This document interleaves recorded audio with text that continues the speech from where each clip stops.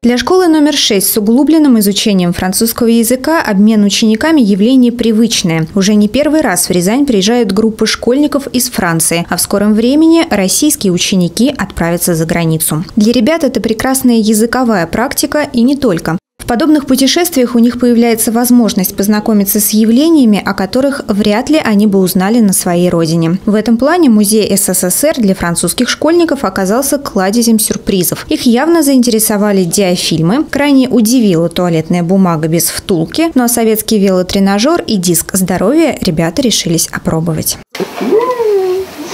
C'est ni de la con. Je vais pas tenir debout. C'est trop bien. On va essayer de bouger comme ça. Все вызывало у юных французов искренний восторг. Они с удовольствием пробовали писать перьевыми ручками, осваивали печатные машинки, знакомились с музыкой советских времен и даже станцевали под нее.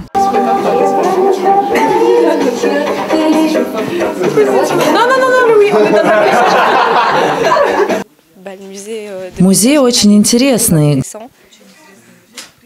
Главным образом интересно то, что здесь можно не только смотреть на экспонаты,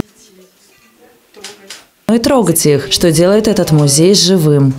Директору лицея, в котором обучаются ребята, музей тоже понравился, однако большинство экспонатов, представленных здесь, знакомы Сильви Тьерси не понаслышке. По ее словам, в те времена, когда существовал Советский Союз, во Франции в обиходе были похожие предметы. А вот современная Россия ее впечатлила. Я первый раз приезжаю в Россию с учениками, и вообще в вашей стране я впервые. До этого я знала Россию только по книгам Толстого, Достоевского, Гоголя. И что меня удивило и впечатлило, это то, что Россия очень современная страна.